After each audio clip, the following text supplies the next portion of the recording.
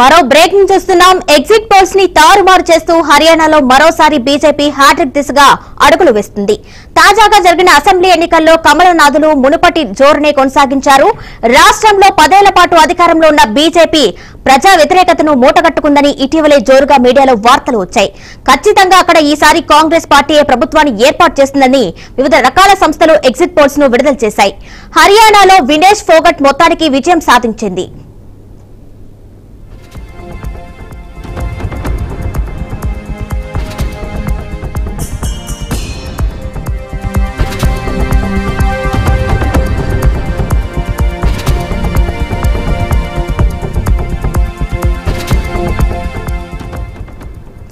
అందరి అంచనాలను తారుమారు చేస్తూ మరోసారి బీజేపీ హర్యానాలో ప్రభుత్వాన్ని ఏర్పాటు చేయబోతుంది. రాష్ట్రంలో మొత్తం తొంభై అసెంబ్లీ స్థానాలు ఉండగా ప్రభుత్వ ఏర్పాటుకు నలభై ఆరు స్థానాలు అవసరమవుతాయి.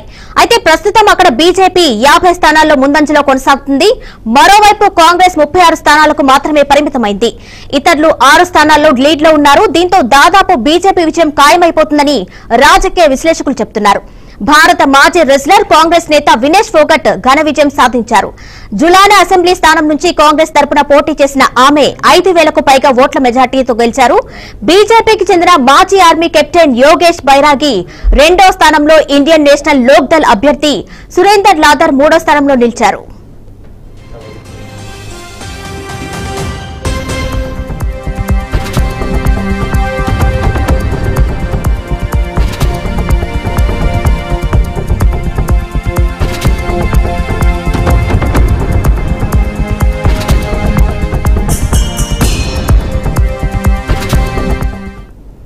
ఇక జమ్మూ కాశ్మీర్లో కాంగ్రెస్ కూటమి విజయాన్ని అందుకుంది. మ్యాజిక్ ఫిగర్ను దాటింది. మొత్తం తొంభై సీట్లకు గాను యాభై సీట్లలో ఆధిక్యాన్ని ప్రదర్శిస్తుంది.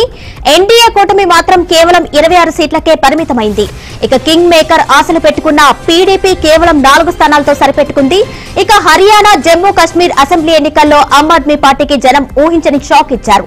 రెండు రాష్ట్రాల్లో ఒంటరిగానే బరిలోకి దిగిన ఆ పార్టీ ఎక్కడా కూడా పెద్దగా ప్రభావం చూపలేకపోయింది.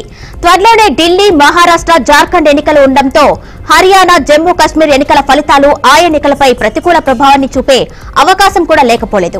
ఒకవేళ హర్యానాలో కాంగ్రెస్ జతకట్టి ఉంటే సునాయాసంగా విజయం సాధించే అవకాశం ఉండేదని రాజకీయ విశ్లేషకులు అంటున్నారు.